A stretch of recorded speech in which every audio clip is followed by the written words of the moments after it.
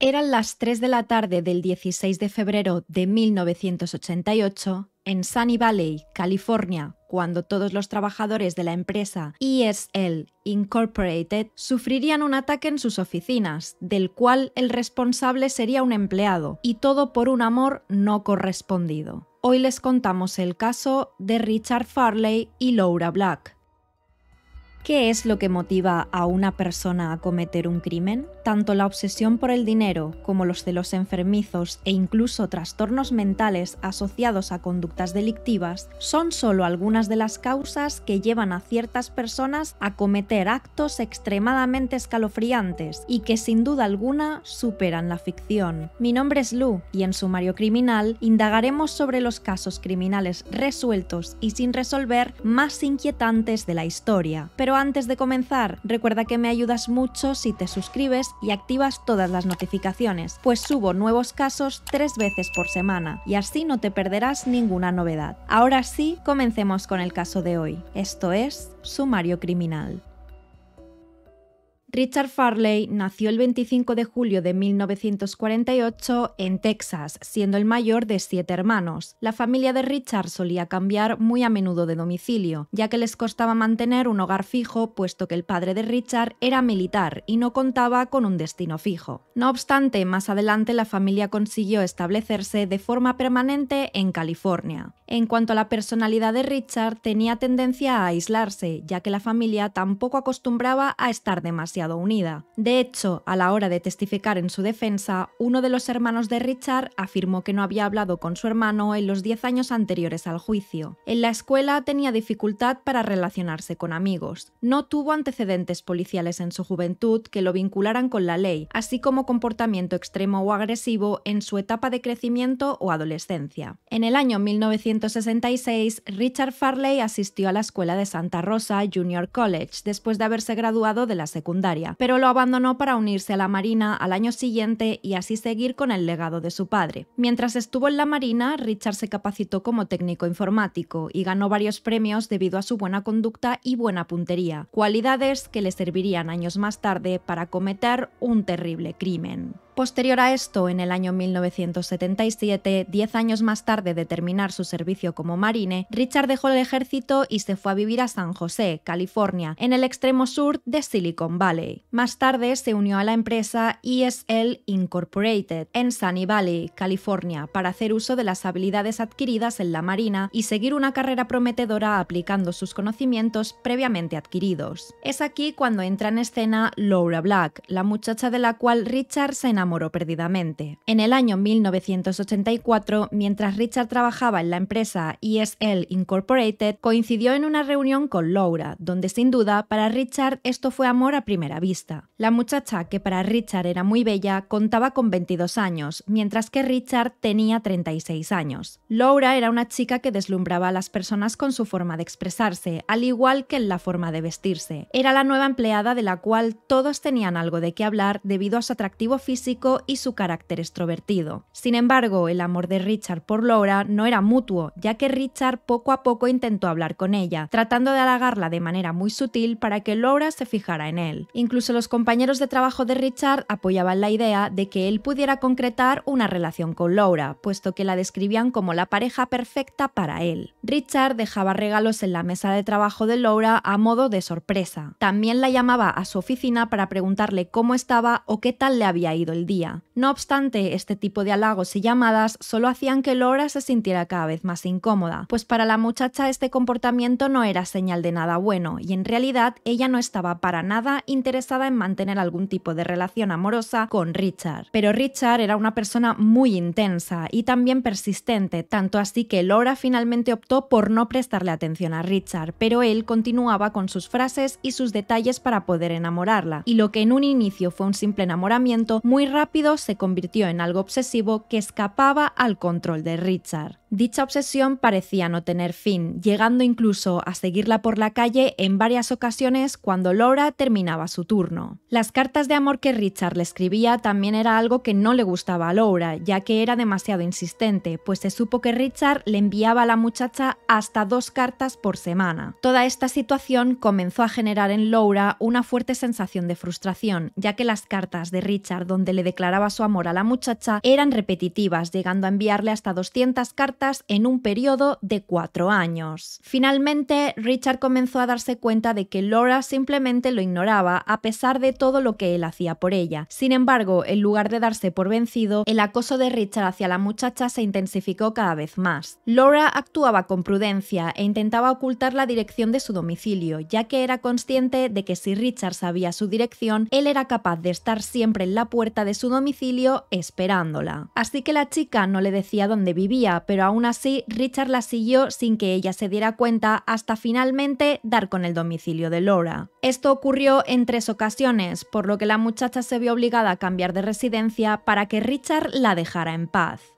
En el periodo de vacaciones laborales de Laura, ella quería salir de la ciudad para pasar sus vacaciones en casa de su madre, pero esta noticia enfureció a Richard, y es que su obsesión era tanta que incluso decidió hablar con el Departamento de Recursos Humanos de la empresa para obtener datos personales de Laura. Esto lo hizo al ver que la muchacha no le facilitaba su dirección cada vez que él le preguntaba, al igual que tampoco le proporcionó su número de teléfono. Sin embargo, Richard consiguió convencer al Departamento de Recursos Humanos para que le facilitaran los datos de Laura, por lo que Richard finalmente tuvo en sus manos toda la información de la muchacha, su dirección, su número de teléfono y también el de algunos familiares cercanos a la chica. Llegó el día en que Laura decidió salir de vacaciones. Richard llegó a la empresa donde ambos trabajaban y solicitó una copia de la llave del despacho de Laura, bajo la excusa de que ella lo había enviado para que él sacara un documento muy importante, el cual necesitaba para poder viajar. Los compañeros no vieron esto como algo raro ni alarmante, ya que veían que Richard y Laura tenían buen trato entre ellos e incluso llegaron a creer que de verdad tenían una relación sentimental. Es así como logró hacerse con la llave del despacho de Laura y rebuscó entre todas sus cosas, irrumpiendo en la privacidad de la muchacha. Por supuesto, las cosas estaban llegando al límite y se estaban saliendo de control, pues Laura sentía que ya no podía más. La chica se comenzó a sentir muy agobiada por el constante acoso de Richard y ella no podía ir a ningún lugar sin que Richard siguiera sus pasos, así que Laura tomó una decisión que para ese momento era la más conveniente para evitar que dicha situación pasara a mayores y decidió denunciar lo que estaba sucediendo con su compañero de trabajo. Laura decidió exponer su caso ante el Departamento de Recursos Humanos y ellos se encargaron de forma inmediata hablando con Richard para ponerle un ultimátum, diciéndole que si no la dejaba en paz sería despedido de su trabajo, a lo que Richard en un primer momento respondió de forma positiva, prometiendo dejar que Laura siguiera su vida sin volver a acosarla. Los responsables del Departamento de Recursos Humanos de la empresa se dieron cuenta de que la obsesión de Richard por Laura no era ni sana ni normal, y por tal motivo lo obligaron también a recibir terapia psicológica si es que quería mantener su empleo, a lo que Richard también accedió sin reproche alguno. Pero estas terapias no hicieron cambiar la forma de pensar de Richard, ya que continuó acusando a Laura, y si alguno de sus compañeros de trabajo le recriminaba su actitud, él no dudaba en amenazarlos. Por otro lado, Richard ya no era el mismo de antes y su desempeño laboral estaba disminuyendo debido a su constante distracción por su obsesión con Laura, lo que llevó a los gerentes de la empresa a tomar una decisión que sería la gota que derramó el vaso. En el mes de mayo de 1986, los gerentes decidieron despedir a Richard de la empresa debido a su bajo rendimiento laboral. Poco después, Richard consiguió otro empleo en una empresa donde también requerían de alguien que tuviera las habilidades con las que Richard ya contaba, por lo que para él no supuso demasiadas dificultades encontrar trabajo rápidamente. Sin embargo, Richard cambió de empresa, pero su obsesión por Laura no cesó, pues él estaba convencido de que la chica lo amaba de alguna manera, lo que le llevaba a interpretar de forma errónea el hecho de que Laura lo ignorase. Richard se convencía de que la falta de respuesta de Laura a sus cartas era una clara señal de que la chica sí que estaba interesada en él, pero que no lo demostraba para que él se esforzara un poco más. Pero la realidad es que Laura no disfrutaba en absoluto de nada de esto, pues ella no quería tener nada con Richard, aunque él continuaba insistiendo en seducirla. En una ocasión, Richard volvió a enviar una carta para Laura, en la que esta vez le invitaba a salir, pero Laura no se molestó en responder ni un sí ni un no. De igual forma, Richard entendió ese silencio como un sí y se presentó en casa de la chica en la fecha y hora estipulados de la carta, convencido totalmente de que Laura sí había decidido salir con él y que lo estaría esperando en casa lista para salir. En otra ocasión, Laura encontró a Richard intentando entrar en su domicilio, aunque no se supieron los motivos. También se sabe que Richard alquiló una habitación muy cerca a la residencia de Laura, solo para estar vigilándola siempre que pudiera. Esto llevó a que Laura tuviese que cambiar de nuevo su hogar de residencia, algo a lo que lamentablemente la chica ya se estaba acostumbrando. En una de las cartas enviadas a Laura en el año 1987, Richard decía, ya todo se ha salido de control, porque piensas que soy un hazme reír y te niegas a escuchar o entender que hablo profundamente en serio. Esta era una carta distinta a las anteriores, y es que ya no se trataba de cartas de amor, sino que se transformaron en mensajes de recriminación a Laura debido a que ella no quería aceptar su amor. Un amor totalmente enfermizo y posesivo, que para Laura no era nada bueno, aunque para Richard al parecer se trataba de un amor sincero. Teniendo en cuenta que Richard dedicaba gran parte de su tiempo a seguir a Laura, comenzó a tener problemas también en su nuevo trabajo debido a su bajo rendimiento, por lo que lo despidieron y perdió su casa por no pagar la hipoteca. Richard tuvo que vivir en una casa rodante por un tiempo, y nada de lo que le pasaba o le aconsejaban le hacía entrar en razón para vivir una vida normal. Laura seguía siendo su obsesión sin importarle las consecuencias. Las cosas se complicaron aún más en enero del año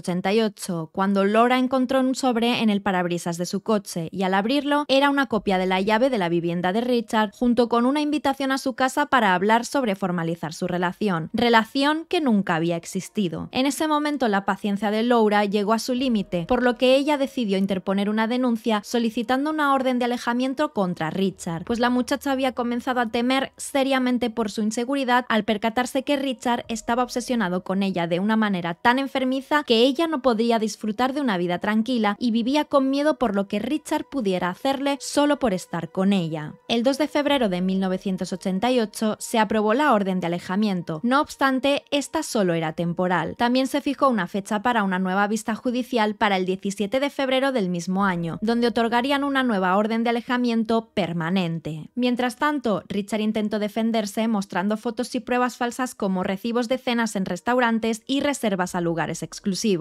Por supuesto, Laura nunca había asistido a esas cenas ni reservas, pero Richard estaba convencido en demostrarle al juez que Laura y él sí tenían encuentros. Incluso llegó a mostrar fotografías editadas en las que salían los dos, pero toda esta evidencia no fue válida para la corte, puesto que evaluaron el comportamiento de Richard y se dieron cuenta de que Laura realmente necesitaba esa orden de alejamiento. El día 9 de febrero de 1978, unos días antes de que el juez pudiera emitir la orden de alejamiento permanente de Richard hacia Laura, Richard compró una escopeta, dos revólveres, un rifle y muchísima munición. El chico se estaba preparando para algo grande de verdad, quería tomarse la justicia por su mano sin tener que esperar a la decisión de un juez, pues solo él sabía lo que tenía que hacer para que Laura pudiera estar con él y que nada ni nadie lo pudiera alejar de ella. De esta forma, el día 16 de febrero, un día antes de la vista con el juez, Richard condujo hasta las oficinas de la empresa ESL, su antiguo lugar de trabajo, donde en ese momento Laura se encontraba trabajando en su despacho. Antes de entrar a la empresa, Richard se equipó con un chaleco antibalas, otro chaleco repleto de munición, unos guantes de cuero y unos tapones para los oídos. Agarró dos pistolas, la escopeta, un rifle, un cuchillo de caza e incluso una bomba de humo, y siendo aproximadamente las 3 de la tarde, decidió entrar en ESL para cumplir con su plan. Richard comenzó a disparar sin discriminación a los empleados que se encontraban trabajando en esos momentos. Los disparos iban en todas direcciones, pues todo aquel que se interpusiera en su camino recibiría un disparo. Richard entraba en cada una de las oficinas para disparar a quien estuviera en ella. Comenzando por el vestíbulo, al entrar ya comenzó a disparar. Luego fue despacho por despacho. Los trabajadores, al ver lo que estaba sucediendo, llamaron a la policía. En aquellos minutos fueron muchas las llamadas que se realizaron desde esa empresa, ya que todos los trabajadores se encontraban aterrorizados debido al terrible tiroteo. Richard llevaba mucha munición y aquella tarde parecía ser infinita. Todo este alboroto hizo que alertaran a Laura, la llamaron a su puesto para alertarla que Richard estaba dirigiéndose hasta su despacho, pero lamentablemente la chica no tuvo oportunidad de salir de la empresa a tiempo. Richard llegó al despacho de Laura ubicado en la segunda planta de la empresa. El primer disparo fue para abrir la puerta, la cual Laura había cerrado desde dentro y afortunadamente ese disparo no logró alcanzarla. No obstante, Richard Richard disparó una segunda vez, donde logró herir el hombro izquierdo de la muchacha, llegando a perforar el pulmón y dejándola inconsciente. Richard pensó que la chica ya estaba muerta y al ver que su objetivo había sido cumplido, salió del despacho de Laura y continuó disparando mientras gritaba que nada de esto hubiese pasado si Laura hubiese aceptado su amor. Richard también mantuvo a raya a un equipo SWAT de la policía durante aproximadamente cinco largas horas, moviéndose de una habitación a otra para que los francotiradores SWAT no pudieran apuntarlo. Mientras tanto, Laura recuperó la conciencia y logró evitar que su herida sangrara más mientras ella y otros sobrevivientes se escondían de Richard. Laura y los otros sobrevivientes finalmente pudieron escapar, por lo que Richard terminó rindiéndose a la policía. Lo primero que dijo fue, quiero un bocadillo y un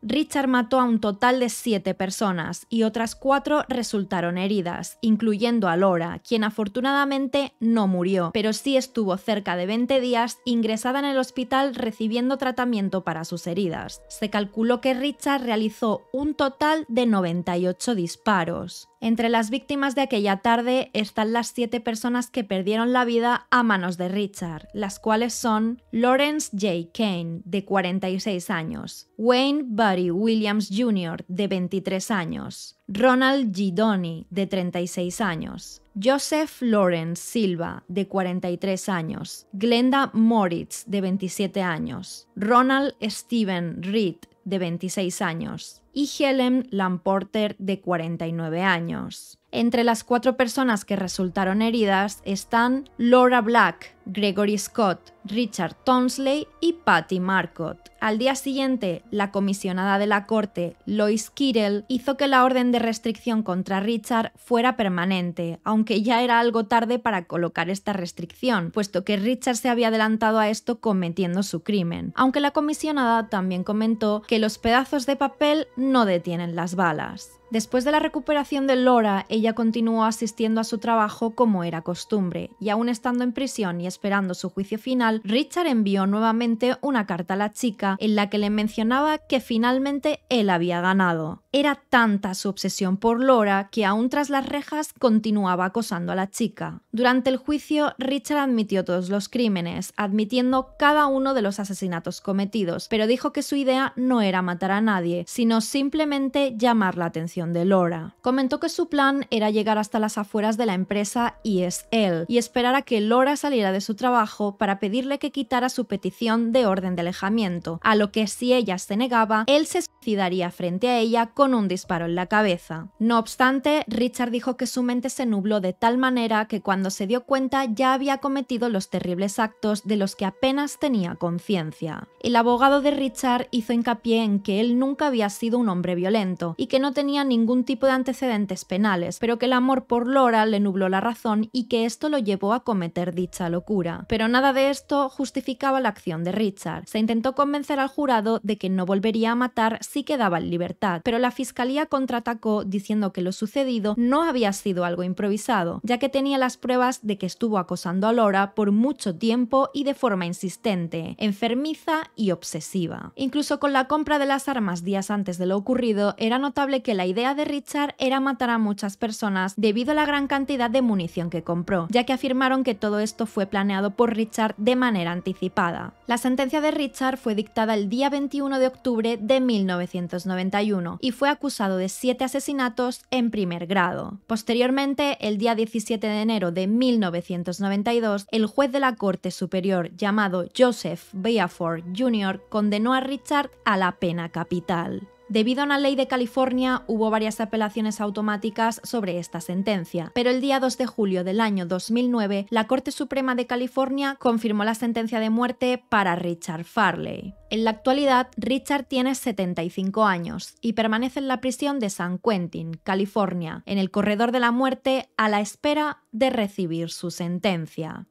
Y bien, este ha sido el caso de hoy. Sin duda espero que les haya resultado informativo. Recuerden que me ayudan mucho si me regalan un like y a la vez suscribiéndose y activando todas las notificaciones, pues subo nuevos casos tres veces por semana y de esta manera podrán estar al tanto de todas las novedades. Quedo a la espera de sus comentarios, los cuales les pido que por favor sean respetuosos y nos vemos en el siguiente caso.